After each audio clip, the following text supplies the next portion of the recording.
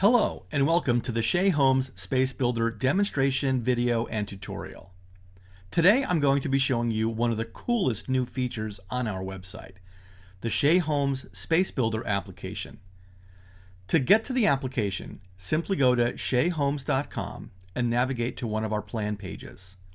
If you're not familiar with our website, simply place your mouse pointer over Find Your Home Move your mouse pointer down on the list of states to find the area you want to look at and click on that area. That's going to load a list of communities. Scroll down the list, find the community you want to look at, select it, and that's going to load a list of plans. And from there, you can pick one of the plans on the list. Once you're on the plan page, you'll notice a large button with a green background that says Explore this floor plan. Click on that to launch the Space Builder application. Now, through the magic of video editing, the application has loaded for me. In reality, it takes about 5 to 10 seconds for it to load.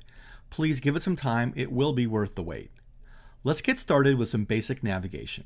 You'll notice when I mouse over a room, uh, the room gets shaded and it also calls out the dimensions um, of the length and width of the room that you're rolling over.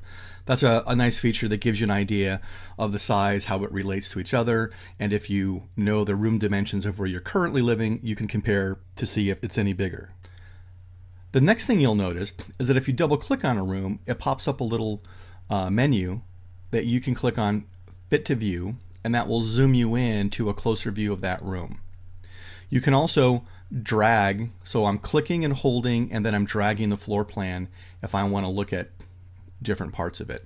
And then if I double click again, I can reset my view uh, and, and zoom back out. The other thing you'll notice is that there are hotspots. That's these exclamation points in some of the rooms. So again, if I double click on that room, it's going to show me additional information and in this case, the garage has a two foot garage extension option. And I'm not sure if you noticed, but as I move my pointer over the option name, it's actually changing the floor plan below. And then if I click that uh, to check the checkbox, it's going to make that permanent. Now, when I close this window, that option is going to stay on the floor plan. So I've added that option to my floor plan. Let me zoom in so you can get a better view of it. So in addition to things like options that move walls and change the dimensions of rooms, there's also other features and gallery items that you can view on the floor plan.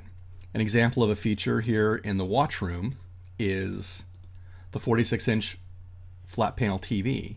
So I can click on that um, and take a closer look at the item that I'm that I'm viewing.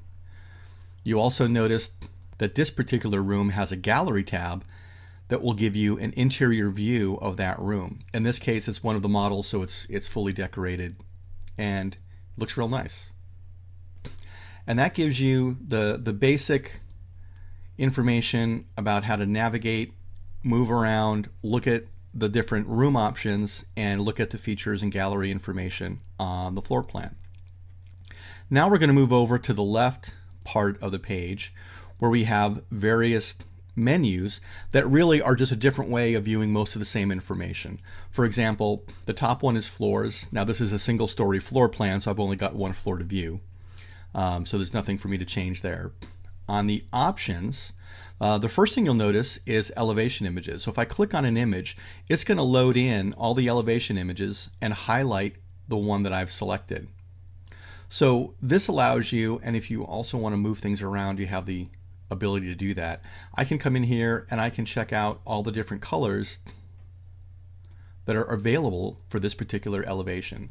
So I can pick out the color combination that I like most and save that.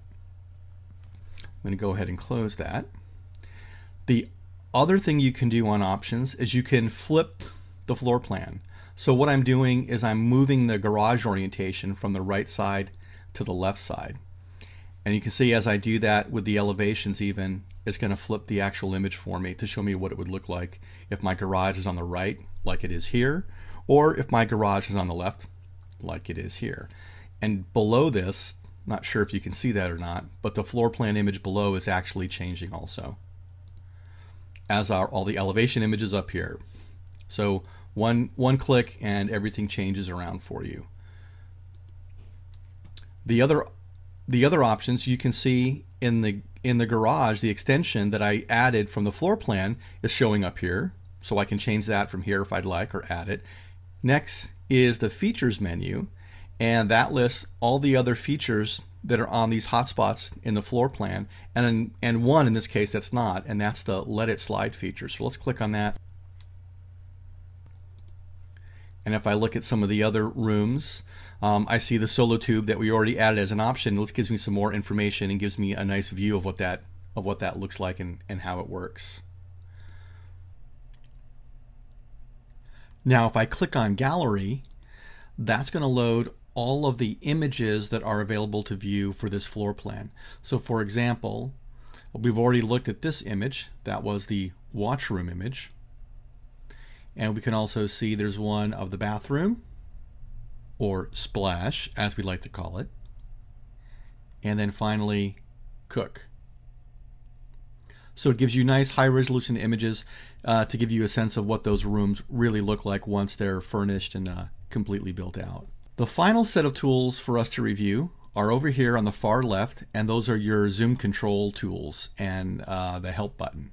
So if I want to incrementally zoom in, I can use the plus sign here to slowly zoom in, or if I want to go in all the way, I can click on max. And if I want to go anywhere in between, I can just simply use the slider, or I can go all the way out to minimum, which gives you uh, kind of a bird's eye view of the whole floor plan. And let's say I want to get back to where I started, then I simply hit reset and then I'm good to go. Now the other button here is the help button and that just gives you um, a brief explanation of the three buttons we just looked at. And for the basic floor plan functionality, that's about it. In part two, we're going to explore the space planner tool and we're going to bring floor plan exploration and space building to a whole new level.